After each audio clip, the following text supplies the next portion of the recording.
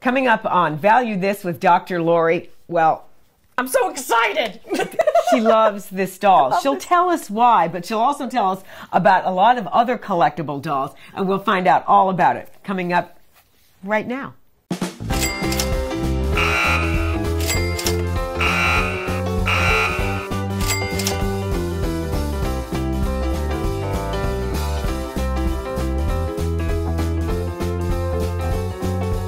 Value this with Dr. Lori. And Dr. Lori, I think you've got a confession to make to everybody. This is Chrissy. She was my doll as a kid. I love Chrissy. What, what's I, the deal with this doll?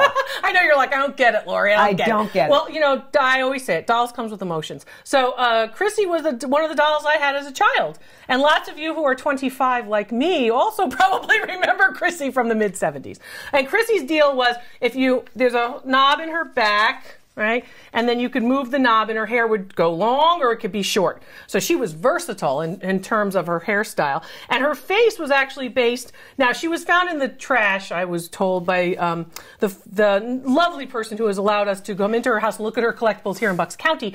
But her face, if you look at her face and you forget about her red hair, in fact, was based on Farrah Fawcett who of course was, you know, the pinup of the day. My mother's a redhead, so every single doll I owned had red hair. Okay, well, enough of the confession now, Dr. Lori.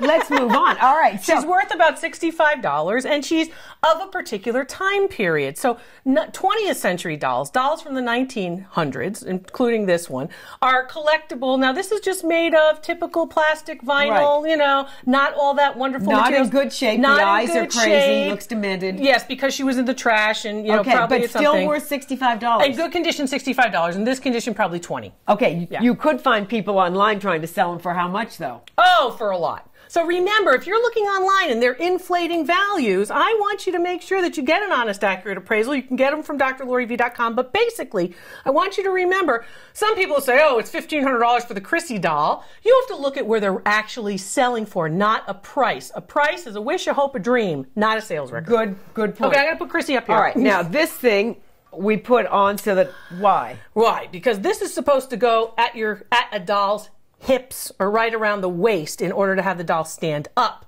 People will put it at the neck. That's where we found this doll. That's right. And they can be very, very damaging to an old doll. For newer dolls, you can use them, and they're nice stands. You know, they'll put them around the waist, and the doll will stand up, and it'll look fine. But don't stick it around the neck. Don't stick it around she the neck. She looks like she's been strangled. Now, she is a wonderful doll from the early 20th centuries, and there are a couple of tricks that you want to look at when you're looking at a doll like this. First of all, her eyes are weighted. That means there are weights behind inside the head that will allow her eyes to open and close. Is that a valuable doll? More valuable? valuable if the eyes close. It can be more valuable because those particular weights and the construction inside is a little bit more complex. Okay. Than a doll that's just staring at you, you know? What is she made so, out of? She's made also of bisque or a porcelain. That's why they call them China dolls. Okay. Because they're made of porcelain or the same material right. as China. And notice the teeth. If the teeth are showing, your doll is probably from before 1920. If the doll's mouth is closed, after 1920. Why did they you know? make that change? Well, because it actually cost a little bit more money in order to do this. Okay. They're actually molded. So you have to actually sculpt these dolls. Okay. So that becomes a little bit more of a hand process. And the process of the you know the doll dentist and all the rest. but now this doll was redone. They spent a lot of money redoing the doll. Right. At do, a doll hospital. You've heard about this. Yes. Do is that worth it? Do it depends on the doll.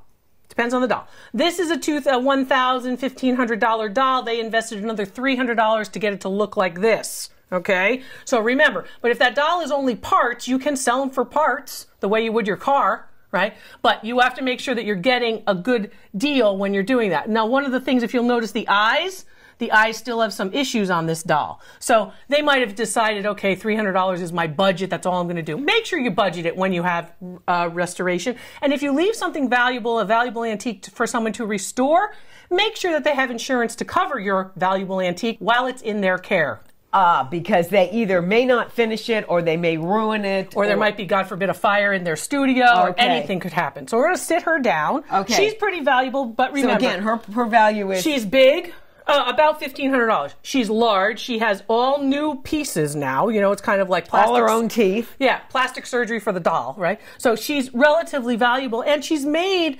Typically, they're German or American dolls, early 20th century. Okay, Then uh, there. Wait, before you get to that, then there are dolls that are typical of American dolls that many of you will have. This is a Madame Alexander doll. Mm-hmm. They're very typical, and they have a particular look on their face. Okay, they really are those pretty little china faces, lovely little faces. Their eyes open and close, but they're made of plastic. Madame Alexander dolls will start as late as early as the 1950s and go into, of course, the 2000s. This one is a newer one, but again, that face is the same since the 50s. All right, are these worth collecting, and how much is one of the ones from the 50s? One of the ones from the 50s can be $250 for one, and many people have them. Ethnic dolls. Ethnic dolls. Uh, collectible, non-collectible, increasingly collectible. Which one's more valuable? My little pair of these, which are made of rubber and are Native American, or the one that you are actually holding right there? They're both worth about $15. 750 750 and 15 and the reason for that is because this one is mass produced in china and these are actually the pieces that are mass produced as well but these were giveaways native dolls dolls that are um, different types of ethnicities can be valuable it's just these two examples not so much Okay, well, we're going to end this segment here. I love her We'll see you back with more tips. And Dr. Lori's got plenty more on dolls on drloriv.com. So check that out, and we'll have lots more stuff you need to know if you collect, think about collecting, or you're thinking about clearing out. We'll let you know.